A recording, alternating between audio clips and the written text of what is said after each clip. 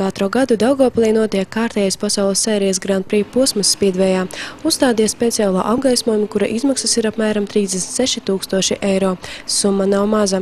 Nu šādus dārgus pasūtījumus veikt vairs nebūs nepieciešamības, jo jau pagājušajā gadā sagatavotais stadiona modernizācijas projekts, kura ietvaros tika paredzēta mūsdienīga apgaismojuma uzstādīšana stadionā, ir teju realizēts. Daļa darbu tika paveikta jau pirms dažiem mēnešiem, un šobrīd norit jau pēdējie darbi. Celtnieki sacīja, ka līdz paredzēto darbu izpildes termiņam 4. jūlijam visi darbi tiks paveikti, un jau 18. jūlijā, kad Daugoplī norisināsies kārtējais Speedway Grand Prix posms, skatītāji varēs novērtēt labiekārtoto modernizēto stadionu. Notiekošie darbi stadionā neietekmēs arī iepriekšplānotās sacensības. Starp citu, kārtējās sacensības notiks jau pavisam drīz. Speedway klubs Lokomotīva uzņems komandu no Krakovas. Sacensības Lokomotīva un Vanda Instal notiks 28. jūnijā, sacensību sākums 18.00.